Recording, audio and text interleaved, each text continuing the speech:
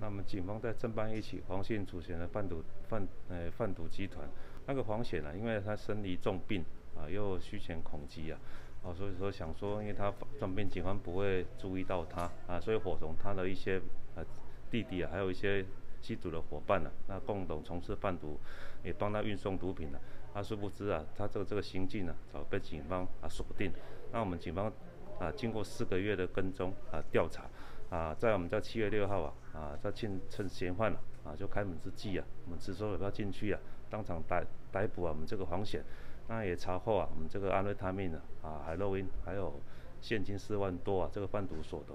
那全陆陆续续啊，将涉案的这些十四人啊，全部带案侦办了，那全案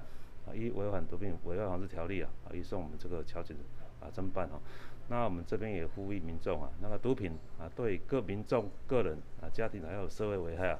啊很大啊，呼吁民众不要啊以身试法啊，造成憾事哦。那我们现在是当我们暑假哈，那也呼吁家长啊，多带领小朋友啊从事正当的休闲。如果说有小朋友任任何的异状啊，随时跟我们警方啊来反映，或是跟我们少年队啊来联系哈。那希望我们能够及时啊啊发现这个异常症后啊。啊，避免了孩子去碰触毒品了啊，造成一生的憾事。